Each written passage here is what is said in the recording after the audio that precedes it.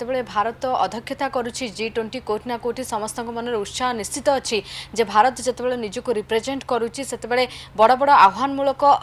বা বিকাশমূলক কথা মধ্যে ভারত রিপ্রেজেট করব তেমন সিধাসল কথা হওয়া আমার সহ সিনিয়র প্রিন্সিপাল সাইন্টিস্ট অনেক প্রফেসর দাস আইএমএমটির স্যার আপনার কম লাগে বর্তমান যেহেতু জি টোয়েন্টি বর্তমান অধ্যক্ষতা করছে ভারত অধ্যক্ষতা করছে জি টোয়েন্টি যেতবে লাইফ লর্নিং প্রসেস কথা আমি কুচে বা গোটে কন্টিনিউস নিরন্তর সাধনার কথা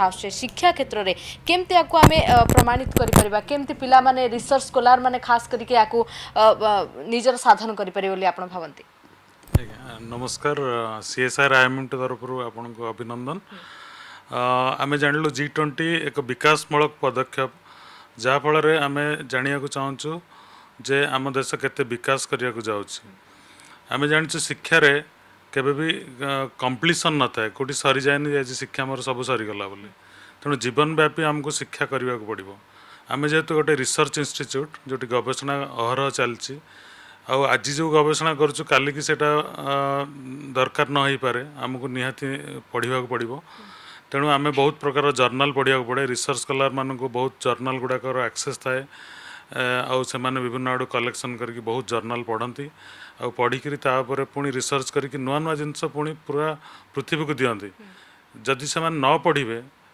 ଜୀବନବ୍ୟାପୀ ନ ପଢ଼ିବେ ତାହେଲେ ସେମାନେ ଯାହା ପାଠ ପଢ଼ିକି ଆସିଥିବେ ତାଙ୍କର ଏମ୍ ଏସ୍ ସି ଲେବୁଲ୍ରେ କି ଏମ୍ ଟେକ୍ ଲେବୁଲ୍ରେ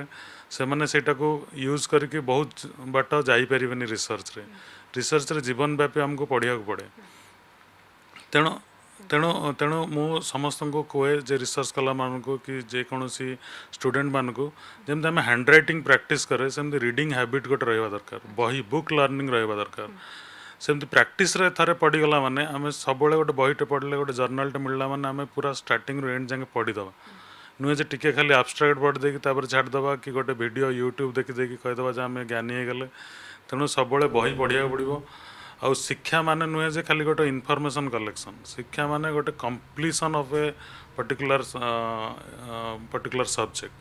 ତେଣୁ ସେଥିପାଇଁ ଗୋଟେ ଫର୍ମାଲ ଏଜୁକେସନ୍ ଅଛି ବହୁତ ପ୍ରକାରର କୋର୍ସ ଅଛି ଆପଣମାନଙ୍କୁ ନେବାକୁ ପଡ଼େ ଆଉ ମଝିରେ ମଝିରେ ମଧ୍ୟ ଛୋଟ ମୋଟ ଜର୍ନାଲ୍ ବହୁତ ଗୁଡ଼ିଏ ମ୍ୟାଗାଜିନ୍ ସେସବୁ ପଢ଼ି